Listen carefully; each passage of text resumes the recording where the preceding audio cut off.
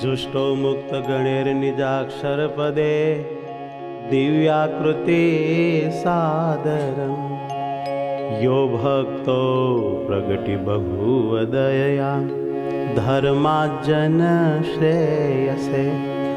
अत्रोन्मूलयितुं त्वधर्ममवेतुं साधुश्च धर्मं शुभं ध्यायेदं हरिमीश्वरेश्वरं सदा। सर्वोपरि श्रीहरि सर्वथा सुखधाम। आनन्दमूर्ति छोतमे मलवाला श्री घनश्याम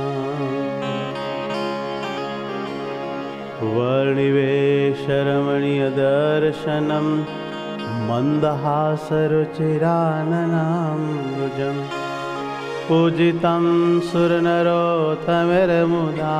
धर्मनन्दनमहं विचिन्तये ॐ श्रीपूर्णपुरुषोत्तमाय नमो नमः श्रीसहजानन्दस्वामिने नमो नमः શ્રી ઘનશ્યામાય નમો નમઃ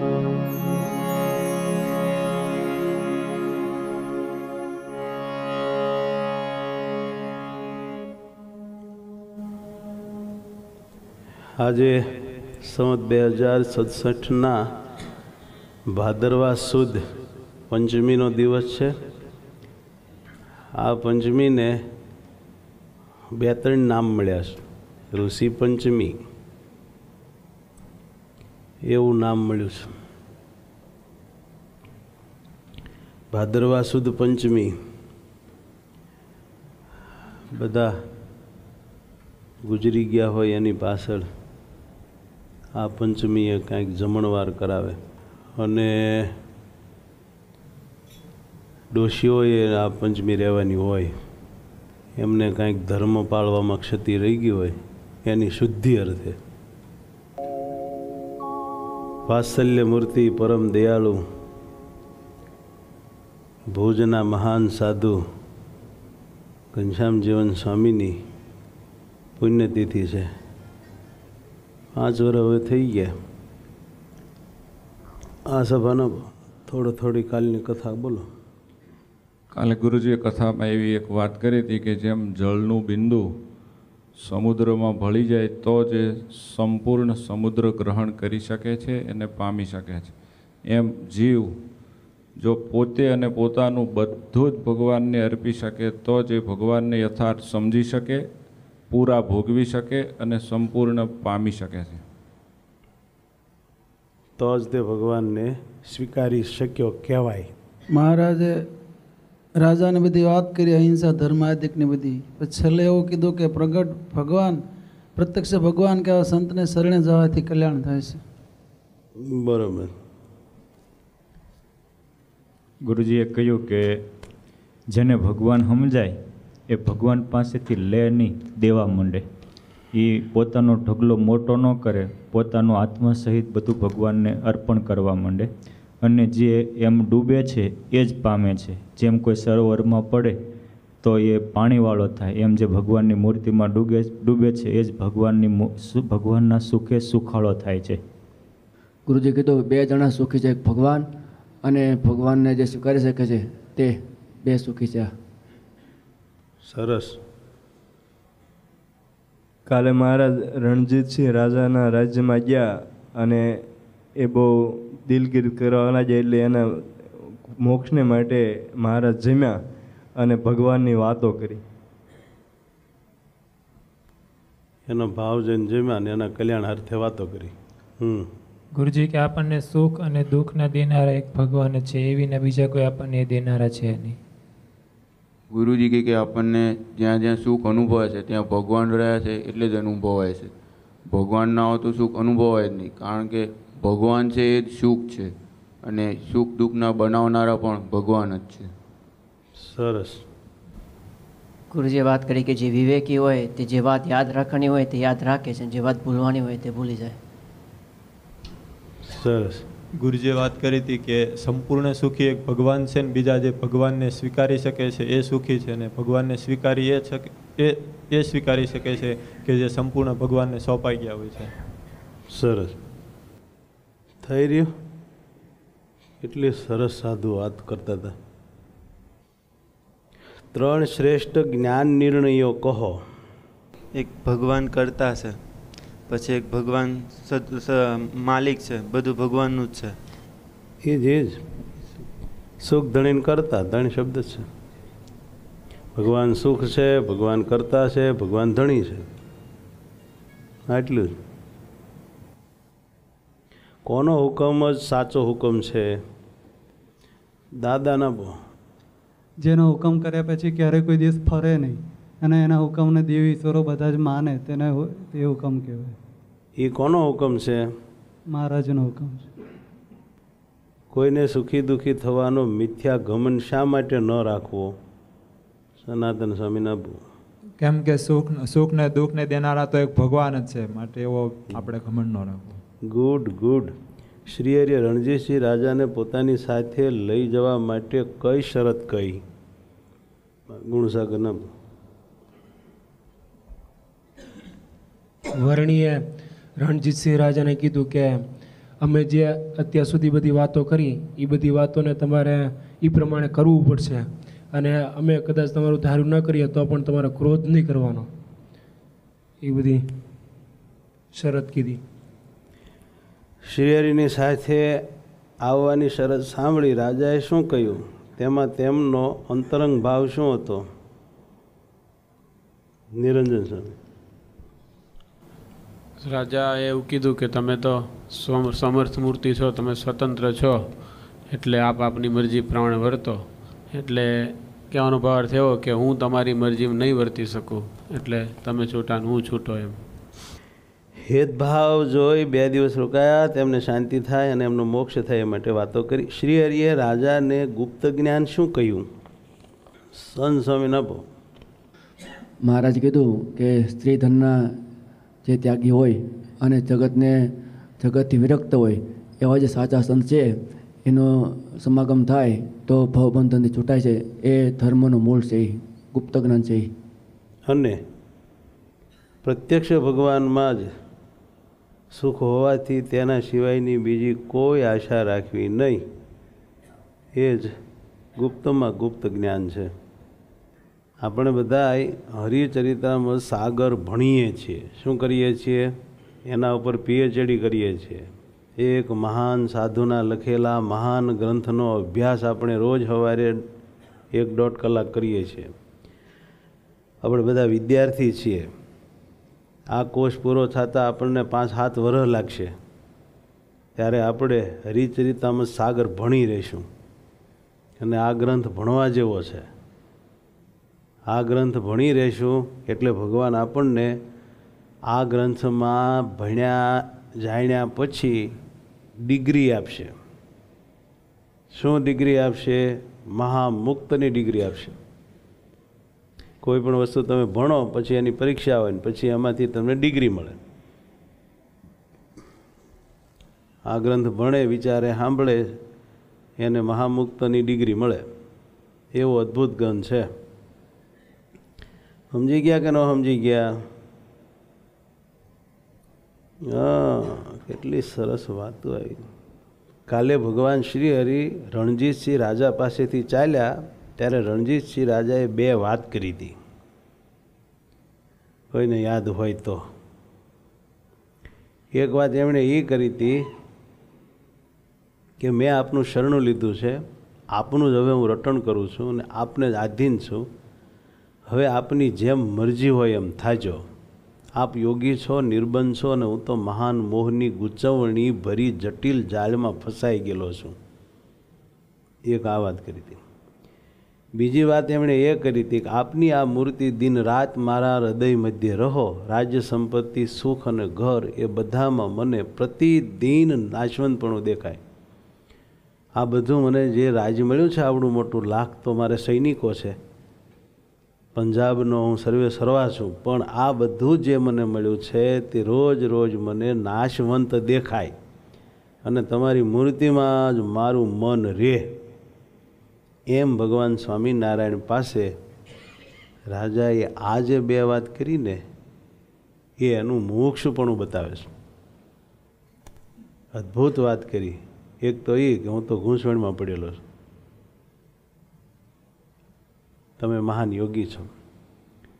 બીજું એક તમારી મૂર્તિ જ હવે મને સાચી લાગે ને એમાં જ મારું મન રહે.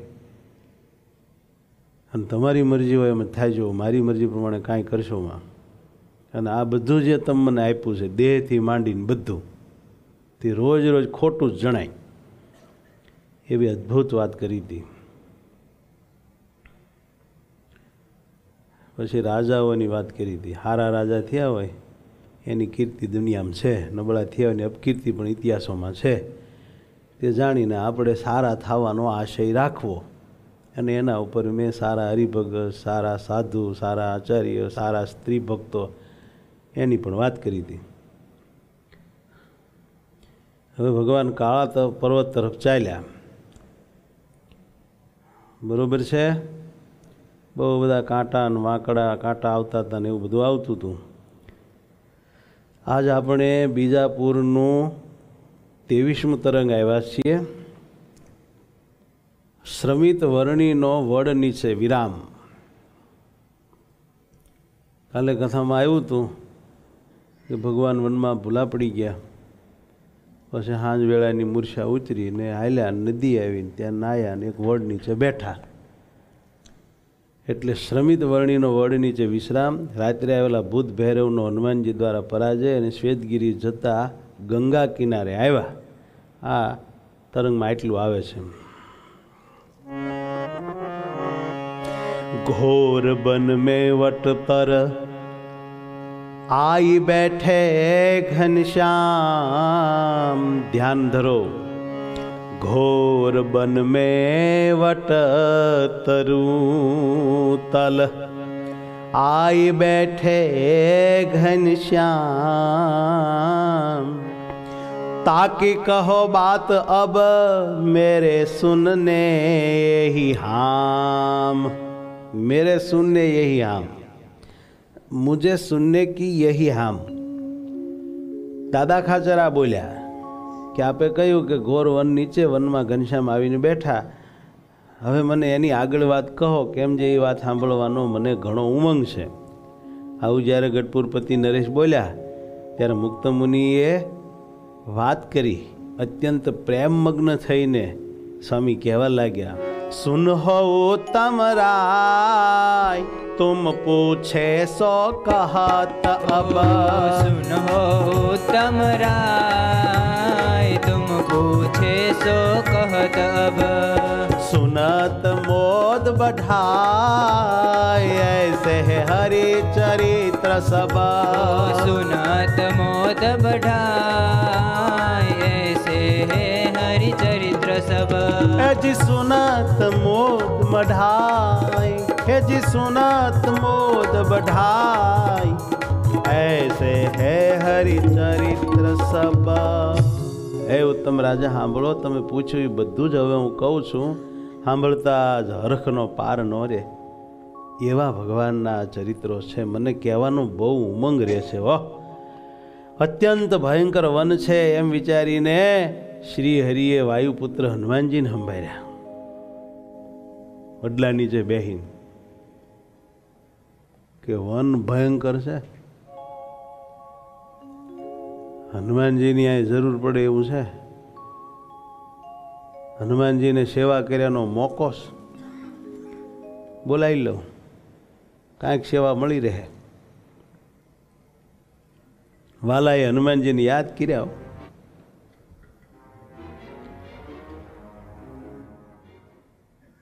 જેવા હનુમાનજીને સંભાળ્યા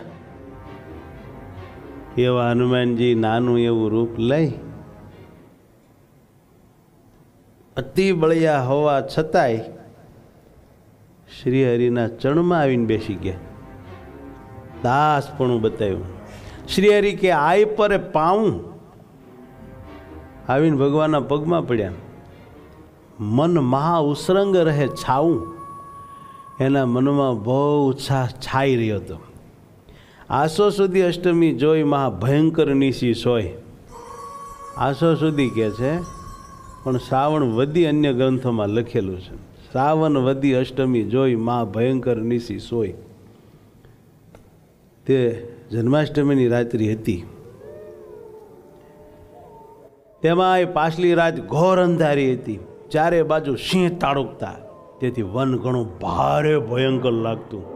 ડરાવી દે એવા અપાર ભૂતો ચારે કોઈ ઘૂમતા હતા અપાર વાનરો ભયાવહ રીતે બોલતા.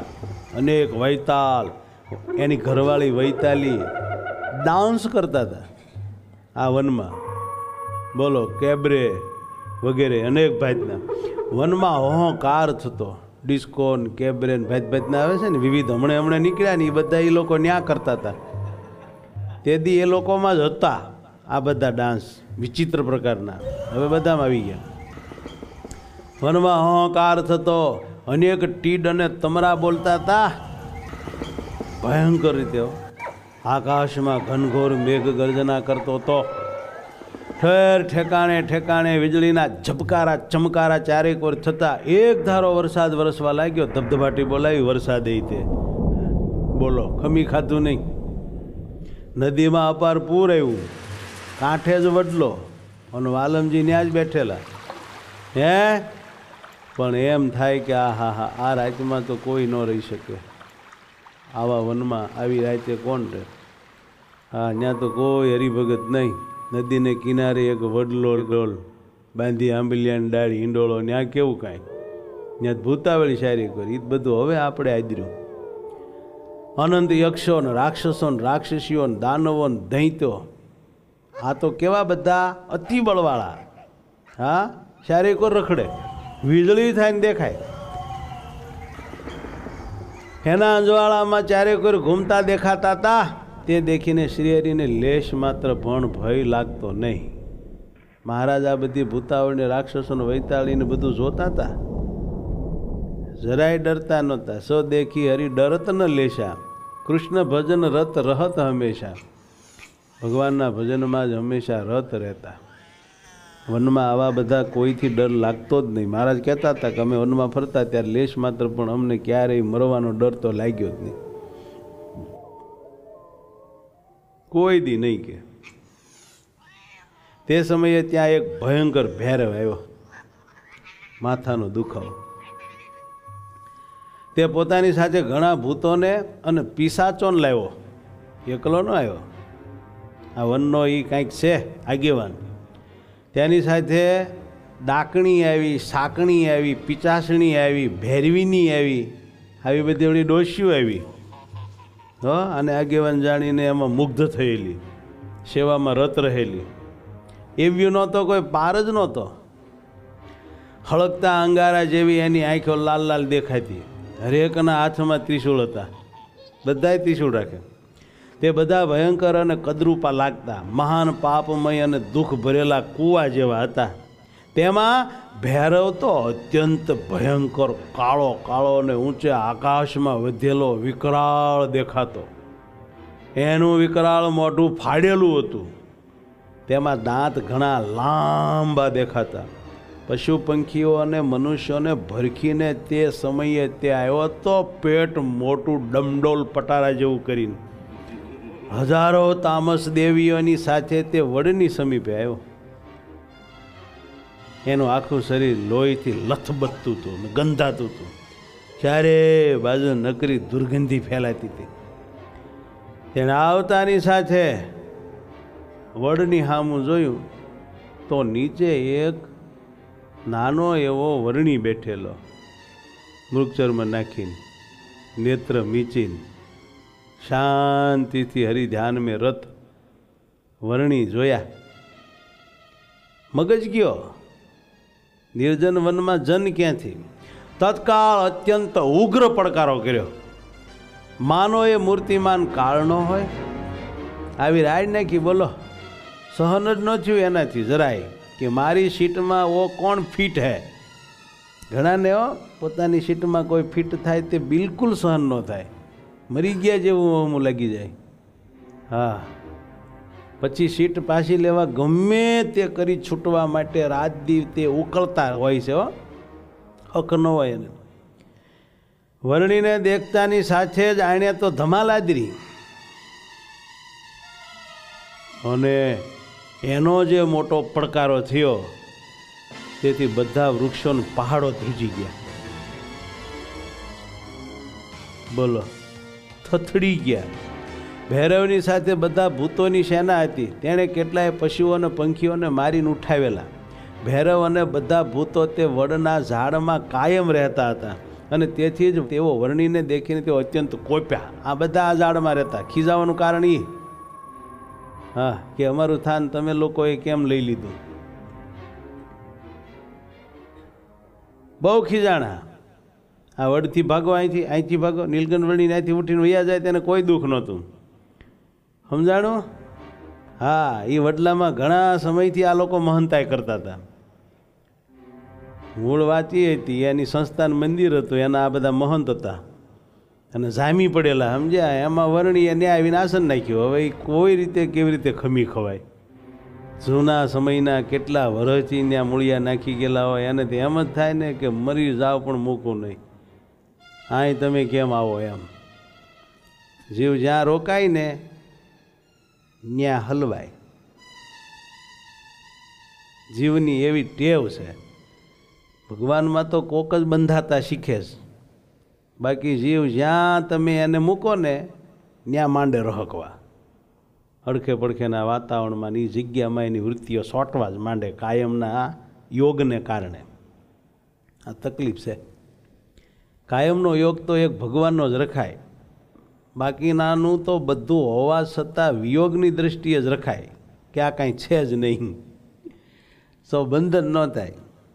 નહીતર આ બધી જ વસ્તુનો યોગ છે તે જીવને એમાં ફસાવ્યા વગર રહે નહીં. અને એમાંય લાંબો સમયનો યોગ જેણે જેનો માણ્યો હોય ને એનો વિયોગ એના માટે મૃત્યુ જેવો વહમો બની જાય છે. માટે બહારથી તો ગમે તેના યોગમાં સુખે રહીએ, પણ અંદરથી યોગ એક શ્રી હરિજી મહારાજની મૂર્તિનો જ સતત જાગૃતપણે રાખવો ઘટે છે. અને જો આ વાતને સમજીને પૂર્વ તૈયારી સાથે જે મુમુક્ષુ જીવ નહીં જીવે, તેને મોત વેળાએ બહુ પીડા થાય જાવું ગમશે નહીં, મેલવું ગમશે નહીં, છૂટવું ગમશે નહીં. કદાચ છૂટવાની ઈચ્છા થશે તો પણ છૂટાશે નહીં. કેમ જે ઘણા બધા મૂળિયા જે ઝાડના ઊંડે ઊંડે વૈયા ગયા હોય, એ ઝાડને ખેંચવા કોઈ કરે તો પણ ખેંચી શકાતું નથી. પછી એ ઝાડને નીકળવું હોય તો એ નીકળી શકાતું નથી. કેમ જે પોતે જ એમાં ઊંડા મૂળ મૂકીને જામી ગયું હોય છે. જાણું? આપણો જીવ છે ને એ ઓલા નકામા ખડ જેવો છે. ખેતરમાંથી અમુક ખડ નકામા હોય ને, એને કાઢીને જ્યાં નાખો ને ત્યાં ચોંટી જાય પીડ્યા પીડ્યા. હો, તમે એને કાઢીને લઈને જતા હોય, એમાંથી હેઠું પડી જાય ને તો ત્યાં જ્યાં પડે ને ત્યાં મૂળિયા મૂકી દે. શેઠે નાખો શેઠે જામી પડે. એમાં જીવ જ્યાં પડે ને ત્યાં મૂળિયા મૂકી દે. હો એ પછી મંદિર હોય સંસ્થા હોય કે ગ્રસ્ત હોય. હા. એ જ્યાં પડે ને મૂળિયા મૂકે.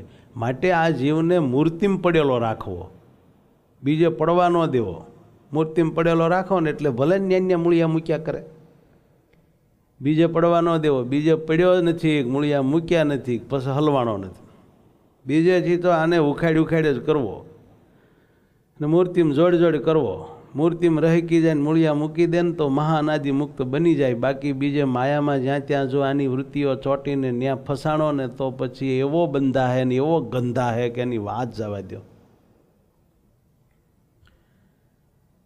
લ્યો, આ વડલામાં આ ભૈરવની મહાનતા હતી અને આ બધા જે હતા ને ડાકણી એ બધા એના સેવક હતા. ભૂતને પ્રેતને એ બધા ખાસ એના આશિષ્ટન હતા અને સારી રીતે એ બધા વનમાં ફરતા ને વિહરતા ને પોતાનું માનીને મન માયના મોજ કરતા ઓ ભોગ ભોગવતા, ખાન પાન, ઠીક પડે ને મારતા ને ખાતા. બરાબરની બાદશાહી કરતા, હારી પેટના જામી ગયેલા. એમાં એ જગ્યાએ નીલકંઠજી આવ્યા, હવે કહો મને કહો કોઈને ફાવે.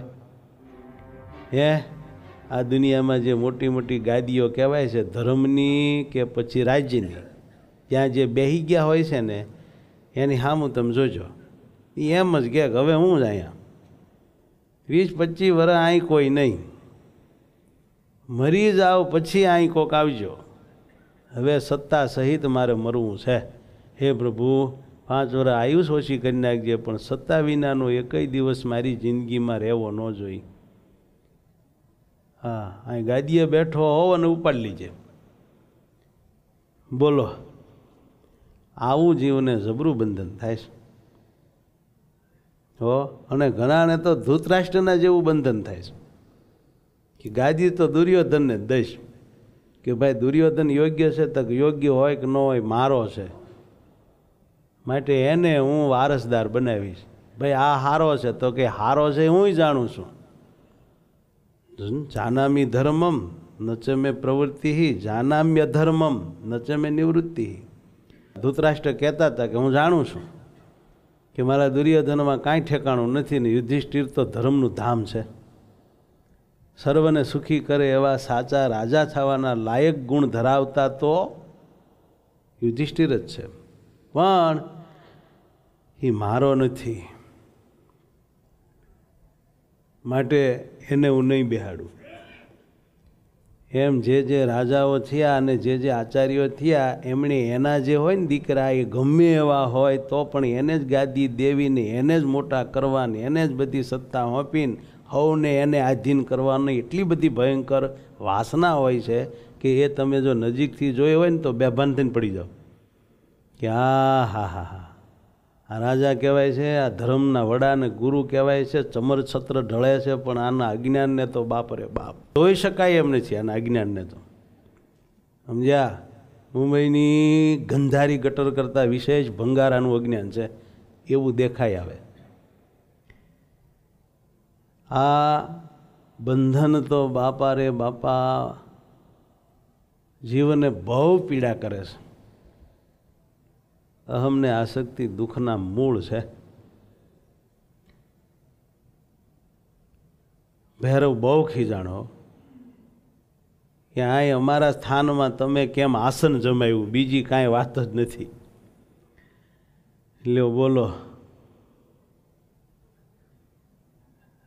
આપણે એમ કે આવા ભૈરવને ભૂત પ્રેતને ડાકણી, શીખણી, પિચાસણીને જ અજ્ઞાનને આસક્તિ હશે.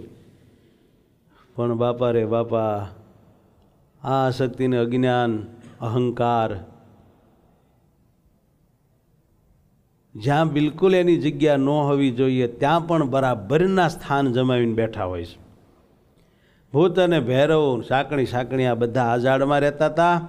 તેથી જ વર્ણીને દેખીને તેઓ અત્યંત કોપ્યા.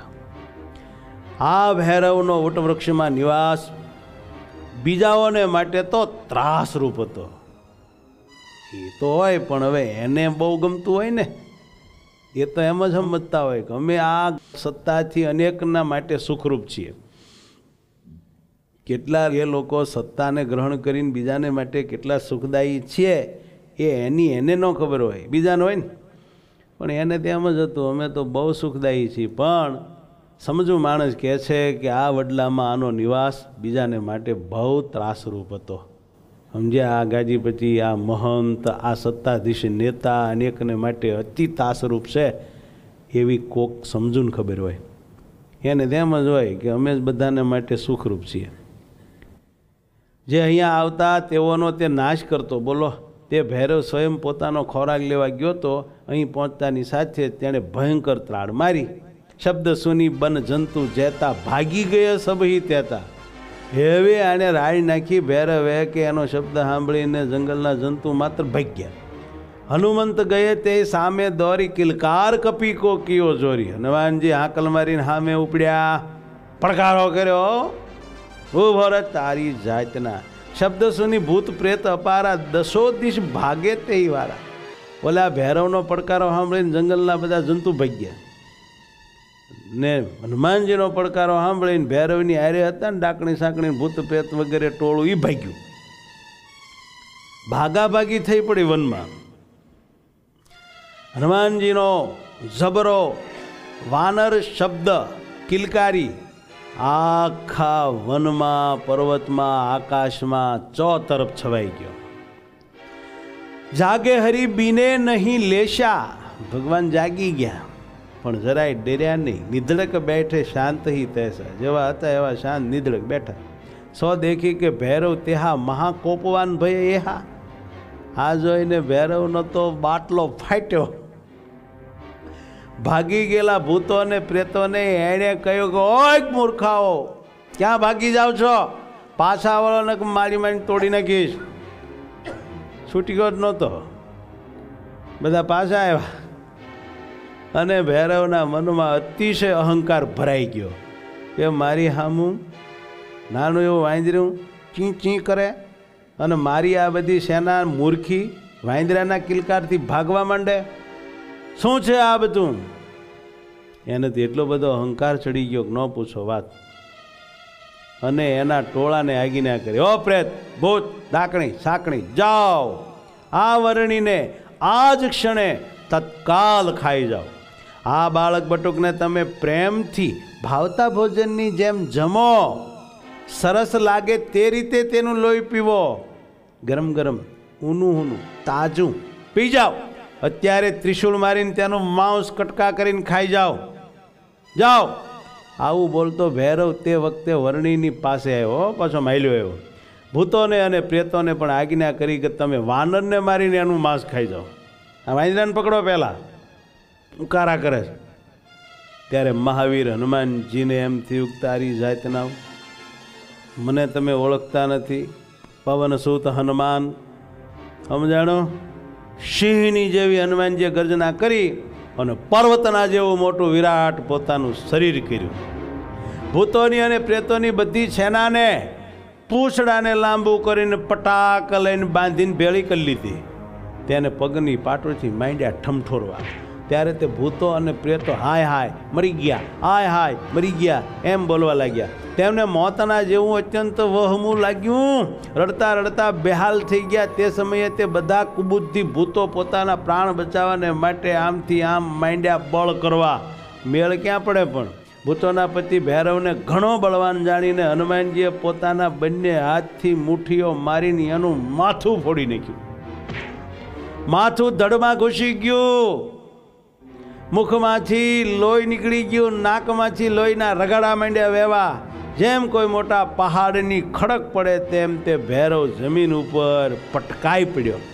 ત્યારે કરોડો દેવતાઓ વિમાનમાં બેસીને આવ્યા અને જય જયકાર થવા લાગ્યો. જય હો જય હો. વાનરાજ હનુમાનજીનું ઘણું મોટું સામર્થ્ય દેખીને તે સમયે શ્રીહરિ પણ પ્રસન્ન થઈ ગયા. તેમને મસ્તકે બંને ચરણકમળ થાપ્યા અને બાથમાં લઈને હનુમાનજી ભેટ્યા હનુમાનજીને કહ્યું કે આ ભૂતાવળ પૂછડે છોડી દો હવે. બધી ભૂતાવળ છોડી દીધી, બણબણતી ગઈ બધી. હા. જઈને ભૈરવને ખંખેરીને હરખો કર્યો. હાલે ઊભો થા, માર ખાધો આજ તે. વયા ગયા બધા, જે દવાખાનું ઠીક લાગે ત્યાં રિપેરિંગ થવા, ઓકે? પાછલી રાતનો એક પોર રહ્યો હતો પછી જ્યારે અરુણોદય થયો, ત્યારે શ્રીહરિ નદીએ નાવા ગયા. શાંતિથી સ્નાન કર્યું અને પછી આસને આવીને સંધ્યા કરી.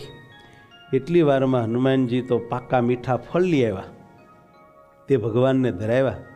જ્યારે ચોથો દિવસ થયો, ત્યારે પોતે તે ફળોની પ્રસાદી જમ્યા. ઉપવાસ થયા. ચાર ચોખા. વર્ણીએ હનુમાનજીને ધન્યવાદ કહ્યા ધન્ય હો હનુમાનજી. આ તમે અમારી ઘણી સેવા કરી હો હનુમાનજી. જો તમે આજ અહીંયા ન આવ્યા હોત ને, તો અમારું મોત થયું હતો આવી મહારાજ માંડ્યા વાત કરો અબ જબ સ્મરણ કરે તુમ્હારે, અબ જબ સ્મરણ કરે તુમ્હારે. સહાય કરન આવના હમારે.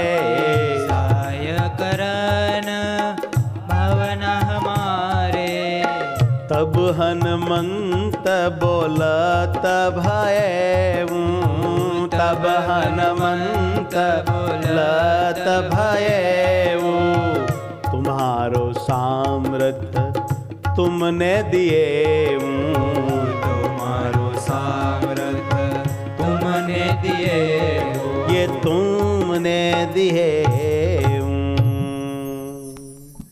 લ્યો મહારાજ કહે છે કે આ તો તમે કૃપા કરીને મને બચાવ્યો અને જુઓ, હવે અમે જ્યારે તમને સંભાળીએ ને ત્યારે અમારી સહાય કરવા તમારે આવી જવાનું આ જ રીતે. હનુમાનજી કે આ બધું હું બોલો છો. આ બધું તમારું સામર્થ્ય છે. તમે જ મને આપેલું છે. તમે ભૂલી ગયા છો? ભૂલી કાંઈ ન ગયા હોય, ભૂલા પાડવાના ધંધા હોય આ. तुम हो प्रभु काल के काला मैं क्या करी શકું રખવાલા હે ભગવાન તમે તો કાળના કાળ છો હું તમારું હું રખવાળું કરી શકો પ્રભુ તુમ મોય સંભારોગે જબ હી તરત આવ હું અબ તબ હી હે ભગવાન આપ દાસને સેવક જાણી સેવા આપવા માટે જ્યારે તમે મને સંભાળશો ત્યારે હું તત્કાળ આવી જઈશ આવું બોલીને હનુમાનજી કહે છે કે, પ્રભુ, હવે આપ જેમ કહો એમ કરું. હારે રહું કે જાઓ? મહારાજ કે, જાઓ. અખંડ હારે નહીં. એટલે હનુમાનજી ચાલતા થયા. અને મહાપ્રભુ શ્રીહરિ ઉત્તર દિશામાં ચાલતા થયા. સ્વયં જ્યાં જ્યાં જઈને રહેતા, ત્યાં રાતે નિર્ભય થઈને હૂતા. વન હોય, ચારે કોઈ હિંસક પ્રાણીને ભૂતાવળ રખડતી હોય તો આરામથી મહારાજ હોઈ જાય. બોલો. સાંભળ્યું તમે? આપણે તો ગટરમાંથી વાંધો જો બાથરૂમમાંથી બેડરૂમમાં આવી ગયો હોય ને તો ઊંઘ ન આવે પછી. પચી ગયું. હા આવ્યો વાંધો મોટો વાંધો ઊંઘનો આ લાગે નહીં, હાંધો પછી એને કાઢી પછી નિરાશ થાય. આ તો મોટા મોટા ભયંકર રાક્ષસો ભયંકર સિંહ વગેરે પ્રાણીઓનો અજગર, વિષી, સર્પ, ભૂતાવળ. સારી કોઈ રખડતી હોય તો નીલકંઠિત હોઈ જાય. આ એનું પરમેશ્વરપણું સૂચવે છે. બાકી ભી પડે. આરામથી હોઈ જતા કે નિર્ભય થઈને. ફળ, ફૂલ, અન્ન, જળ, પણ અણ ઈચ્છાએ જે મળે તેને શ્રીહરિ ખાઈ લેતા, પી લેતા. આમ કેટલાય દિવસ ચાલ્યા ત્યારે તે કાળો પહાડ ઉલ્લંઘન કરાયો. વિકટવન હતું આ કાળો પહાડ તો ભાઈ. પછી શ્વેત પહાડ આવ્યો. જો, પહેલાં કાળો પહાડ આવે હિમાલયની તળેટીમાં, પછી શ્વેત પહાડ આવે. કાળો પહાડ એટલે કે ત્યાં બરફ બરફ ન હોય. પછી આમ આઘા જાવ ને એટલે બરફ માંડે આવવા. બરફ આવવા માંડે એ શ્વેત પહાડ. અને તળેટીના પથરા દેખાતા હોય કાળા એ કાળો પાડ. સમજી ગયા? આજે તમે જાઓ ને, તો પહેલાં કાળા કાળા પાણા આવે એટલે એ કાળો પાડ. પછી ઉપર બરફ સવાયેલા ધોળા બધા પર્વત આવે એ ધોળો પાડ. હવે ભગવાન ધોળા પાડમાં પ્રવેશ્યા. એટલે કે બર્ફીલા પ્રદેશમાં પરમેશ્વરે એન્ટ્રી કરી. ત્યાંના શિખર ઘણા ઊંચા આકાશમાં હતા. અવિનાશી એક શ્રી હરિએ તે શિખરોને સ્વયં જોયા. બીજો તો કોણ જોવે? તે પર્વતમાં સાતે ધાતુઓની ઘણી ખાણો હતી. દેવતાઓને અને તપસ્વીઓને રહેવા યોગ્ય ઘણી મોટી મોટી ગુફાઓ હતી. પણ કોક કોક રહેતા. ત્યાં એવું ઘાટું વન હતું કે તેમાં રહેનારાને સૂર્ય કે ચંદ્રમાં દેખાતા નહીં. લ્યો ત્યાં રહેનારાને ન દેખાય. સૂર્ય કે ન દેખાય, ચંદ્ર. ભૂલે પરેતા માહી ચલે ઉત્તર દિશહી જોઈ. ગંગા આઈ તાહી રાત રહે સો બરની ત્યાં. ભગવાન શ્રી હરિ આ સફેદ પહાડમાં ભૂલા પડી ગયા. બીજી વાર ભૂલા પડી ગયા. ઉત્તર દિશા તરફ ચાલતા રહ્યા. ત્યાં ગંગા નદી આવી. ત્યારે વર્ણી ત્યાં રાત રોકાયા અને ત્રેવીસમો તરંગ પૂરો થયો. હવે તરંગ ચોવીસમો. જુઓ. ભગવાન શ્રી હરિ ત્રેવીસમાં તરંગમાં ઓલા વડલે રાત હતા, ત્યાંથી ગંગાજીએ રાત રહ્યા, ત્યાં સુધીની કથા આવી. સમજાણો? આગલે દિવસે રણજીતસિંહ રાજા પાસેથી નીકળી અયોધ્યા થઈ અને વનમાં ભૈરવને વડલે આવીને રોકાયા, ત્યાં સુધીની કથા આવી હતી. આ બધા ભગવાનના ચરિત્ર યાદ રાખનારને અંતરમાં બહુ મોટી શાંતિ પ્રાપ્ત થાય છે. ભગવાનમાં બહુ મોટું હેત થાય છે. અને હેત જેવું સુખ આપે છે ને એવું સુખ તો છે ને લુખું જ્ઞાન પણ દેતું નથી. માટે લુખા જ્ઞાન કરતાં ભગવાનમાં હેતવાળું જે જ્ઞાન છે ને એ જ કલ્યાણકારી છે. હું જાણું છું, હું જાણું છું કરીને માથા ફોડવા અને કુશકા ઢોહા ઢોકાવવા એના જેવું જ્ઞાન ન મેળવવું ઢોહા ધોકાવે શું મળે ભાઈ? લુખા જ્ઞાનમાં કાંઈ ન મળે. ભગવાનમાં હેત થાય ને એ જ સાચું જ્ઞાન. કેમ જે જ્ઞાનનું ફળ એ પરમાત્મામાં પ્રીત થાય એ છે. અને પ્રીતનું ફળ છે ભગવાન આકારે વૃત્તિ થઈ જાય તે. અદભુત કથા વૈરાગ ત્યાગ હરિ કો અતિ, યહી સમ ઓર ન કોઈ. કહા કીજે મુખ બાત તે હી કહે બને તન મોઈ. હે ઉત્તમ, શ્રી હરિના ત્યાગ વૈરાગ્યના જેવા કોઈના ત્યાગ વૈરાગ્ય નહીં ભાઈ. શ્રી હરિમાં અતિશય ત્યાગ વૈરાગ છે, તેમના જેવો બીજે ક્યાંય ત્યાગ વૈરાગ અમે જોયો નથી. તેની વાત હું મુખથી કેટલી કહું? મારાથી તે વાત પૂરેપૂરી કહી શકાતી નથી. ઘણું જોર કરું છું, તોય નહીં. ભૂલે કર નિજ દેહ હે ભૂલે કર નિજ દેહ માનત નહીં લગાર. ભૂલમાં પોતાના દેહને લગારે માનતા નહીં. ભૂલે કર નિજ દેહ ભૂલ સે ભી અપને શરીર કું, માનત નહીં લગાર. બિલકુલ માનતા જ નથી દેહને. વિચાર કરો, આપણે દેહને જ માનીએ છીએ. ભગવાન દેહને માનતા જ નહીં. આત્માને જ માનતા ને પરમાત્માને જ માનતા ને પૂજતા, સેવતા, યોગ રાખતા. જ્યારે આપણે દેહને માનીએ છીએ, દેહને જ સુખી કરીએ છીએ, દેહને જ સેવીએ છીએ, દેહનો જ યોગ રાખીએ છીએ. દેહને જ અખંડ આપણે વળગી રહ્યા છીએ. જ્યારે ભગવાન નીલકંઠ અખંડ શ્રીહરિની મૂર્તિને વળગી રહ્યા હતા, એમ લેવાય વાત. કેટલું બધું આમાં સમજવાનું છે વાહ ભૂલે કર નિજ દેહ કું, માનત નહીં લગાર. ઈશ્વર છાય તન રહત, રખતન કબુ સંભાર. ઈશ્વરની ઈચ્છાથી શરીર રહ્યું હતું ભગવાને ક્યારેય શરીરની હામું જ ન જોયું, એને યાદ જ નહોત કરતા ને દેહને પ્રભુ યાદ જ નહોત કરતા ને બોલો. આપણે આખો દી દેહને સંભાળીએ છીએ. કેટલો ફેર છે કહો. આ બધો તફાવત ટાળવો પડશે આપણે. ગંગા મે નીજ દેહ દાર દિયે જીમી કાષ્ટ તેહી. ગંગા મેં નિજ ગંગા નદી આવીને રાત્રિ પછી ત્યાં કઈ વાણતો હોય નહીં. જેમ હુકો લાકડું ફેંકી દે ને એમ પોતાના દેહને ગંગામાં ફેંકી દીધો. ઉતાર તીર ગયે તે પૂજા કિન પછી પ્રેમ જો ઉત્તર તીર ગયે તે પૂજા કિન પછી પ્રેમ જો પૂજા કિન પુની પ્રેમ જો ગંગાને સામે કિનારે ઉત્તર દિશા તરફ વર્ણી પહોંચી ગયા પ્રેમ શ્રદ્ધા ભાવથી ભગવાનની પૂજા કરી અથા ઉતરે નીર, મનુષ્ય સે ન બન હી શકે. શ્રીહરિ મહાધીર, ઉત્તર દિશ સો ચલે પીછે. હે ભાઈ, ભગવાન જેવું કોઈથી ન થવાય. શ્રીહરિ તો મહાન ધીરજવાળા સમર્થિવાળા. મનુષ્યથી ન થઈ શકે એવું ગંગાના અથા પાણીને ઉતરવાનું કામ શ્રીહરિએ કર્યું અને પછી ઉત્તર દિશા તરફ ચાલતા થયા. પહાડમાંથી સુખારી નિજરણાઓ ચાલતા હતા. વર્ણિના મનમાં ઘણો આનંદ, ઉત્સાહ હતો. નિદ્રક થઈને વનમાં આગળ ચાલતા હતા. તેમાં નજીકમાં બે પડખે બે પર્વત આવ્યા. સામ સામે રહેલા બંને પર્વત ઘણા ઊંચા હતા. આગળ જતા બંને અડીને એક થઈ ગયા. તેની વચ્ચે ઝરણાઓમાં ધીરે ધીરે નીલકંઠજી તો આગળ વધ્યા, આગળ વધતા સન્મુખ નદી આવી. તેના પાણીમાં સન્મુખ શ્રીહરિ ચાલ્યા. લોકો બધા કહેવા લાગ્યા કે આ યોગી તો આત્મારામ છે. ત્યાં રહેનારા જંગલના માણસો માંડ્યા કહેવા. ચાલતા આગળ સામે મોટો એક પહાડ આડો આવી ગયો. વેગ પ્રચંડ હતો.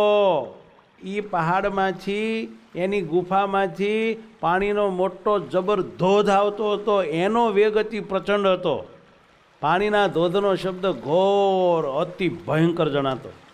ચાલવાને માટે કોઈ પણ તરફ રસ્તો નહોતો. ઘણો કઠણ આપતકાળ આવી પડ્યો.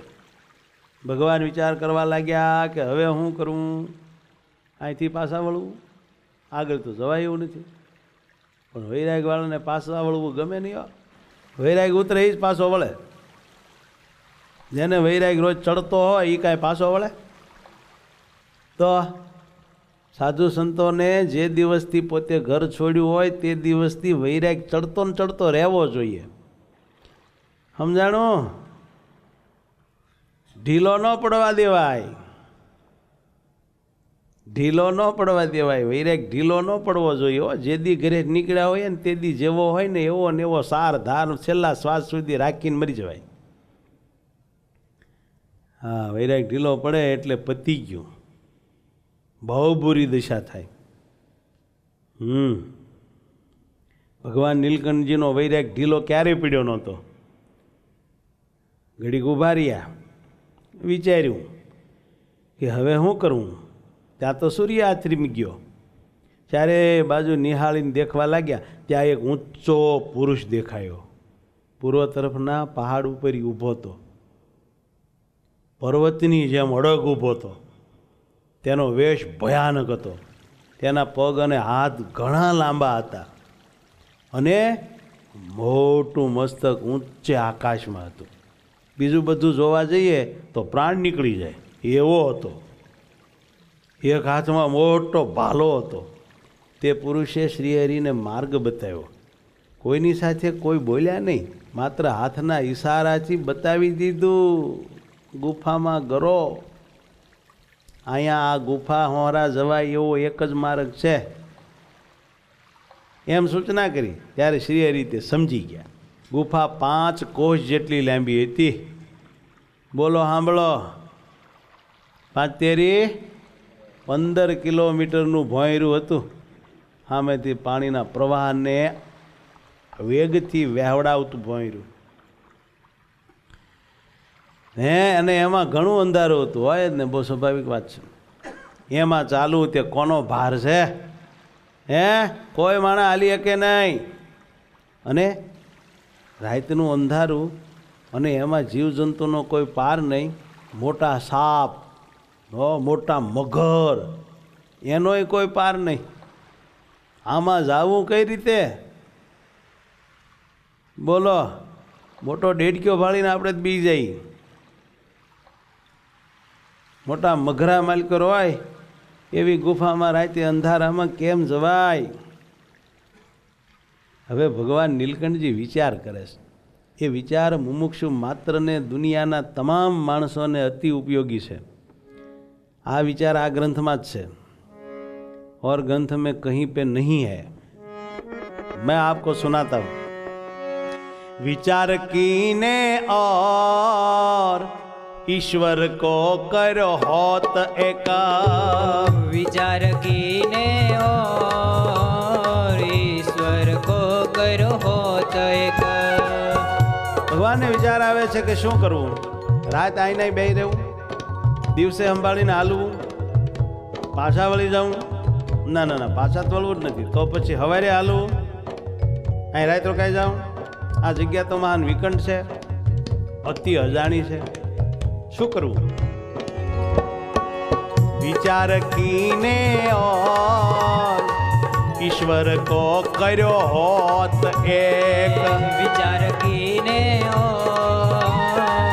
ईश्वर को करो होत अपनो नहीं को ज़ोर।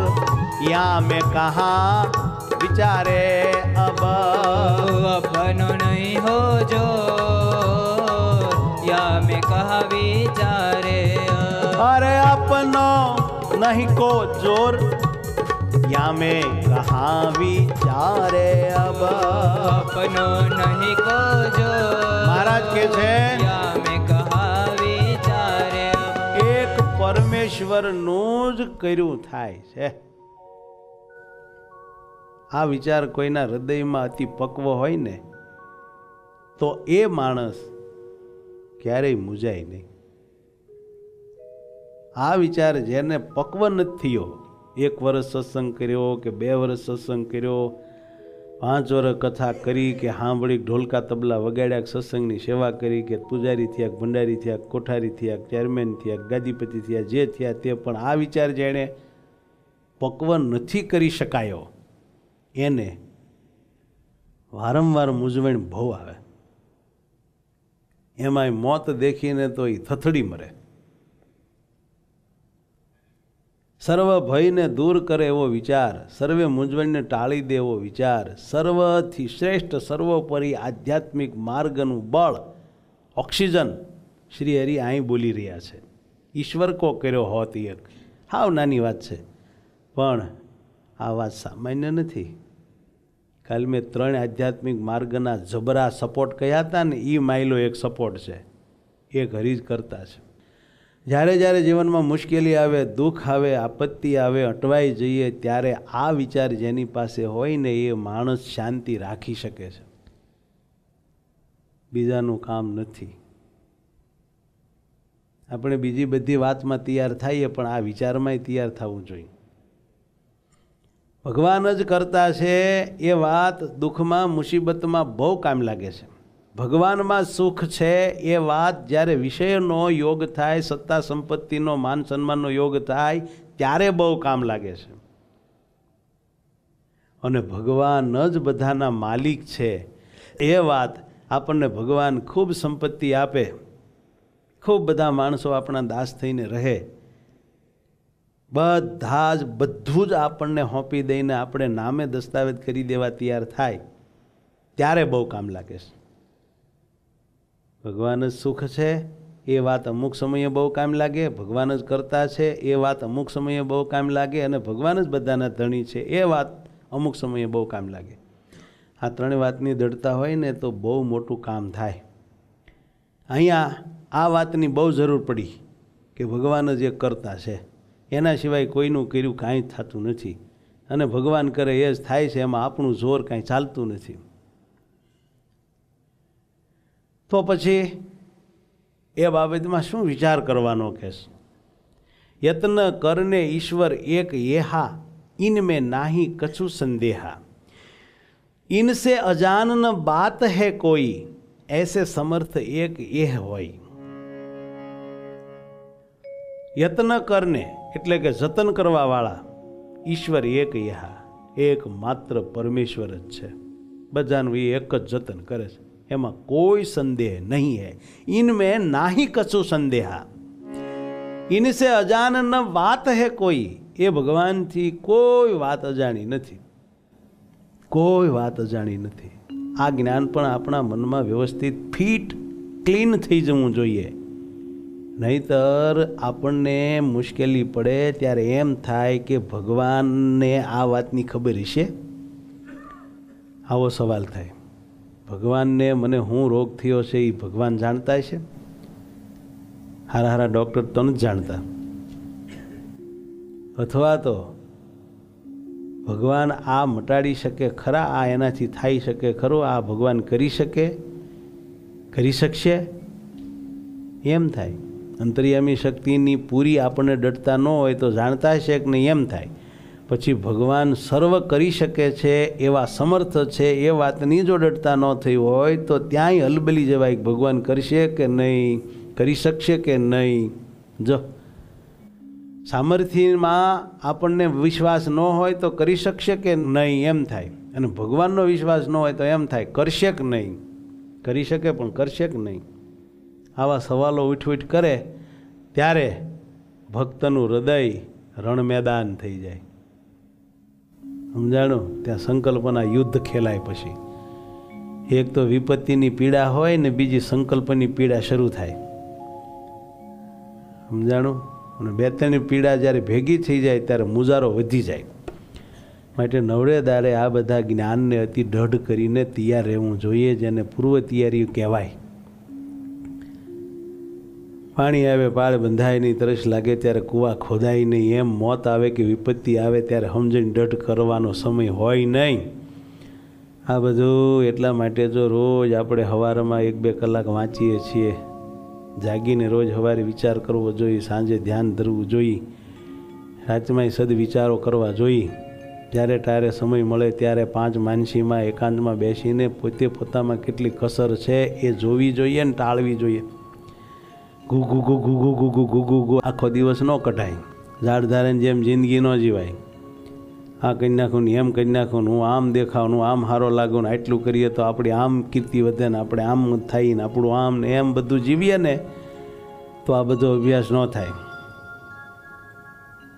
સમજ્યા? ઉપર ઉપર જીવવાની બધાને ટેવ છે, સપાટી ઉપર હવ રહેશે ઊંડા ઉતરે એના હાથમાં જ હાચા મોતી આવે છે. દરેક વાતનો ઊંડાણપૂર્વકનો અભ્યાસ કરીને તે વાત સિદ્ધ કરીએ ત્યારે જ થાય છે. ઉપર ઉપર સપાટીમાં રહેવાથી કાંઈ હાથમાં આવતું નથી. ભગવાનથી કોઈ વાત અજાણી નથી. એવા સમર્થ તો એ એક જ છે. કોટી જતન અપને કીજે. કોટી જતન અપને कीजे ઇનકી ઈચ્છા સમજો લીજે. આપણે કરોડો રીતે પ્રયત્ન કરીએ જતન કરીએ પણ ઇનકી ઈચ્છા સમસો લીજે. એમની ઈચ્છા હોય એ જ ફળ આપણને મળવાનું છે. સબ જન નિષદીન इच्छत सुखा। सब जन निष इच्छत सुखा। बिनई ही आवत दुखा। बिनई ही आवत दुखा। कोटि जत्न अपने कीजे। कोटि करोड़ मेहनत करो नहीं सुखी रहवा। की પણ ભગવાન જે ઈચ્છશે ને તે જ આપણને અનુભવાય. બધા લોકો રાત દિવસ ઈચ્છત સુખા. સુખ જ ઈચ્છે છે. કોઈને એક જરી કઈ દુઃખ ક્યારેય જોતું નથી, કોઈ કાળમાં. તો પણ અણઈચ્છે બધાને દુઃખ ભોગવવું જ પડે છે, દુઃખ આવે જ છે. કેદી કોને દુઃખને નોતરું દીધું? એને કંકોત્રીની ઇન્વિટેશન કાર્ડની કોઈ જરૂર ક્યારેય હોતી જ નથી. ગબ લઈને આવી જાય. અને સુખને તો કેટલાય આવકારીએ તોય ન આવે. કોટી જાતના અપને કીજે. કોટી જાતના કરોડ આપણે ઉપાય કરીએ તો પણ. ઇનકી ઈચ્છા સમજો લીજે એ પરમેશ્વરની ઈચ્છા જે હોય તે પ્રમાણે જ ફળ મળે છે સબ જન નિષદીન ઈચ્છત સુખા સબ જન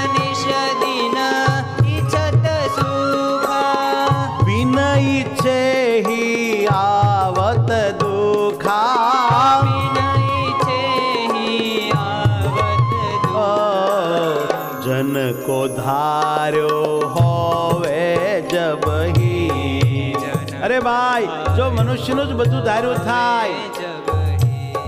કબુ પ્રભુ કો ભજે ન તબહી ત્યારે કોઈ માણસ ક્યારેય ભગવાનને ભજે નહીં, જો એનું ધાર્યું થાય તો. તારે રતી ભર હોતન તો धारे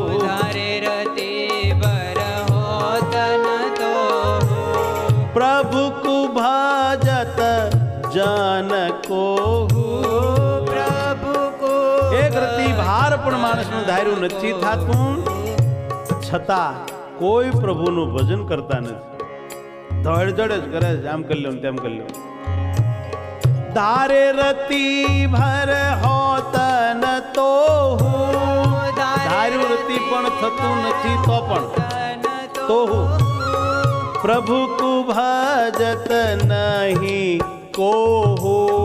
કોઈ ભગવાન ભજતા નથી ઘાટ કરત હરી તજી અનંતા. ભગવાનને તજીને અનેક પ્રકારના બીજા જ ઘાટ કર્યા કરે છે. રાતરુદીન સમુદ્ર પર્યંતા. રાત દિવસ સમુદ્ર પર્યંત. બીજા ત્રીજા સંકલ્પ કર્યા કરે છે. તામે ધાર્યો તિન કોન હો પણ એમાં એનું ધાર્યું કાંઈ થતું નથી. ભલન ઘાટ કર્યા કરે. ઈશ્વર કો ધાર્યો હોત હે સો ભગવાનનું ધાર્યું થાય. ઘાટ કરત હરિતાજી જ્યારે જ્યારે જીવને દુઃખ આવી પડે છે ને, ત્યારે ભગવાનને છોડીને બીજા ત્રીજા ઉપાય માટે કરવા. ભગવાનની આજ્ઞાને એક બાજુ મૂકીને અધર્મ, યુક્તિ, પ્રયુક્તિ, અસત્ય ખોટા માર્ગે ચડી જાય જીવ. રાત રુદીન સમુદ્ર પર્યંતા. રાત દિવસ સમુદ્ર સુધીના આડા નવળા વિચારો કરી નાખે. તામે ધાર્યો તિનકો ન હો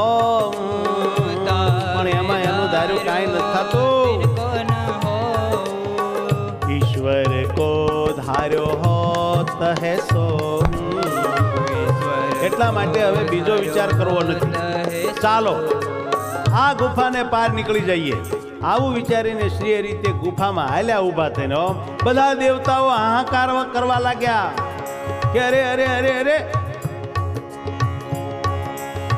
વિચાર કીને દિલ દેવ તબ હું. વિચાર પછી દેવતાઓએ બધાએ ત્યારે વિચાર કર્યો. ઇનકે આધાર આપન હે સબ હું આપણે બધા આને આધારે છીએ આપન હે સબ તાકી સેવ કરન કો લાગા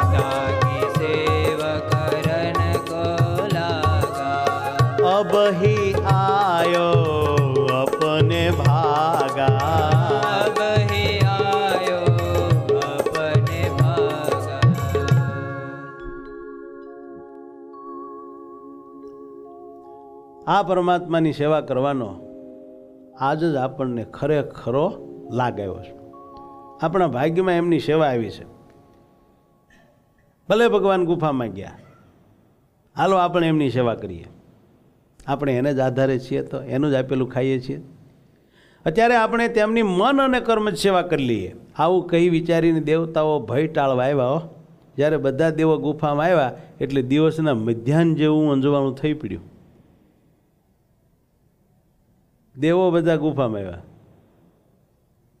અંજવાળું કર્યું એણે. દિવસે બપોર હોય ને એવું અંજવાળું થઈ ગયું વાતાવરણ. મહાન ભયંકર જીવજંતુઓ નિર્જીવ જેવા થઈને પડી રહ્યા. લ્યો.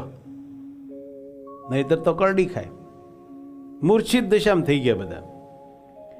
શ્રી હરિ તે બધાને દેખતા દેખતા ગુફાની બહાર નીકળ્યા. પંદર કિલોમીટર હાલી નીકળ્યા રાત બધી વીતી ગઈ, ત્યારે શ્રી રીતે ગુફાની બહાર નીકળ્યા. આગળના ભાગમાં એક મોટો નદ હતો, નદ.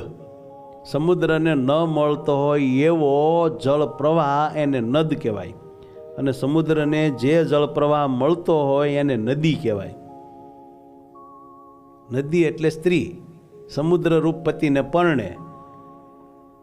સમજા અને નદ એટલે આદમી. એ સમુદ્રને પરણે નહીં. એટલે કે સમુદ્રને મળે નહીં. અગાધ રૂપમાં આ જળ પ્રવાહ જતો હતો, તે નદીના પાણીની ઝાલક ગુફામાં પડતી હતી અને તે પાણી નદી રૂપ થઈને વહેતું હતું. તેને શ્રી હરિએ પોતાની આંખોથી જોયું કે ઓ અહીંથી આ નદી નીકળી. બહાર નીકળ્યા ત્યાં સ્નાન કર્યું અને વિષ્ણુની પૂજા કરી, પછી વિષ્ણુ સહસ્ત્ર નામ સ્તોત્રનો જાપ કર્યો. નદીને કાંઠે એક વન દેખ્યું, તેમાં અપાર કેળો હતી. ઓ, હોનેરી કેળો. એમાંથી શ્રી હરિએ કેળા લીધા અને દેવને નિવેદન કરી અને પછી પોતે જમ્યા અવિનાશી શ્રીહરિને આ વખતે ત્રણ દિવસના ઉપવાસ થઈ ગયા હતા. ચોથે દિવસ ફલાહાર કર્યો. જમીને જ્યારે તૃપ્ત થયા, ત્યારે વળી વિચારવા લાગ્યા, અબ નદ અથાહ કહાવે? સો કિસવિદ પાર લહાવે? અરે રે, હવે અત્યારે આ પાછો આગળ નદ આડો આવ્યો. અથાગામાં પાણી છે. હવે એને કઈ રીતે પાર કરવો? યું કહી તનકું દારેતા માહી, ઈશ્વર ઈચ્છા ધર્યો રમાહી લ્યો, સાંભળો, લ્યો. કે હવે આ મોટું પાણી કઈ રીતે ઉલ્લંઘન કરવું એમ કહીને પોતાના શરીરને ભગવાન શ્રી હરિએ તે પાણીમાં ઈશ્વર ઈચ્છા છે એમ ધારીને ફેંકી દીધું. અને નક્કી કર્યું કે જેમ મહારાજને ગમતું છે એમ થશે. તરતા તરતા સામે પાર નીકળી ગયા, લ્યો. અને જ્યારે સામે પાર નીકળી ગયા, ત્યારે ત્યાંથી તેમને માર્ગ મળ્યો. તે માર્ગે ચાલતા ઘણા દિવસ થયા, ત્યારે અદ્ભુત અને નવીન એવા પુલાશ્રમે પહોંચ્યા. પુલાશ્રમ અત્યંત ચમત્કાર ભર્યો છે. પુલાશ્રમને જે સેવે તે સુખી થાય છે. ત્યાં જે તપ કરવામાં આવે તેનું ફળ તત્કાળ મળે છે. તે આશ્રમની પાસે જ પર્વતમાળા છે. ઋષભદેવના પુત્ર ભરતે બે વખત ફરીને ત્યાં તપ કર્યું હતું. જે મુમુક્ષુ મનુષ્ય હોય તેણે સેવવા યોગ્ય પુલાશ્રમનું સ્થાન છે અને શ્રી કૃષ્ણ ભગવાનના કૃપાપાત્ર થવા માટેનું આ સ્થાન છે. આમ પુલાશ્રમનો મહિમા ગાયો. ભરતે બે વાર તપ કરેલું? બે વાર તો આગલા જન્મે બીજે જન્મે. એમ વાત છે. તે પુલાશ્રમની ચારે બાજુ ઘણા વેગીલા પ્રવાહવાળી ચક્ર નામે નદી વહે છે. આ ચક્ર નદીમાંથી જે પથ્થર કાઢો એ શાલિગ્રામ. શ્રીહરિએ તેમાં સ્નાન કર્યું. તેમને ઘણો જ આનંદ થયો. પૂજાપાઠ વગેરે પ્રેમથી કર્યા પછી ભવ્ય મુક્તનાથ ભગવાનના દર્શન કર્યા. જે સ્થાને ભરતજીએ તપ કર્યું હતું, ત્યાં પરમ ચતુર શ્રીહરિ જૈન બેઠા. ત્યાં મુક્તનાથનું મંદિર છે. ત્યાં રોજ મહારાજ પગે લાગતા. ભરતજીએ જેવું તપ કર્યું હતું, તેવા તપનો આદર કર્યો, તેમની માફક જ તપ શરૂ કરી દીધું અને જપ શરૂ કરી દીધો. અને નિષ્ઠને અનાસક્ત સ્થિતિમાં લીન રહેવા લાગ્યા. તપ ભરતજીની જેમ કરતા હતા, પણ ભરતજીને જ્યાં મુશ્કેલી આવી ને એ બાબતની બહુ સાવધાની રાખતા. સંગ તજે સબ બાર છે અંતરલીન વિચાર, પુરંજન કથા વિચાર કે બુદ્ધિ સંગ તજે તે બાર. બાહ્ય વ્યવહારની બધી જ આસક્તિ તજી દીધી અને આંતરિક રીતે પુરંજન રાજાની કથાનો વિચાર કરીને બુદ્ધિનો સંગ પણ તજી દીધો. આત્મ સ્વરૂપને પરમ વિશુદ્ધ માનીને ઊંચા હાથ કરી શ્રી હરિ નિત્ય ગાયત્રીનો જપ કરવા લાગ્યા. હું આત્મા છું, શુદ્ધ છું, એમ માનીને જપ કરવા માંડ્યા. દેહભાવયુક્ત યુક્ત જપ નહોતો આ. આત્મસત્તા રૂપે જપ ભજન હતું. તે સમયે શ્રીહરિ ગંડકી નદીમાં સ્નાન કરીને મુક્તનાથ ભગવાનની સેવા રોજ કરતા અને સૂર્યનારાયણનું નિત્ય ધ્યાન કરતા અને આવી રીતે તપ કરતા, કંઈક ફળ ફૂલ મળે તો જમતા હતા. ઇતિ શ્રી સહજાનંદ સ્વામી શિષ્ય સિદ્ધાનંદ મુનિ વિરચિત શ્રી હરિચરિતામાં સાગરના દ્વિતીય પૂરમાં શ્રી હરિ શ્વેતગીરી ઓળંગી પુલાશ્રમમાં પધાર્યા અને તપ શરૂ કર્યું. એ નામે ચોવીસમો તરંગ સમાપ્ત થયો. ભૈરવના વડેથી નીકળીને પુલાશ્રમે પહોંચ્યા સહજાનંદ સ્વામી મહારાજની જય.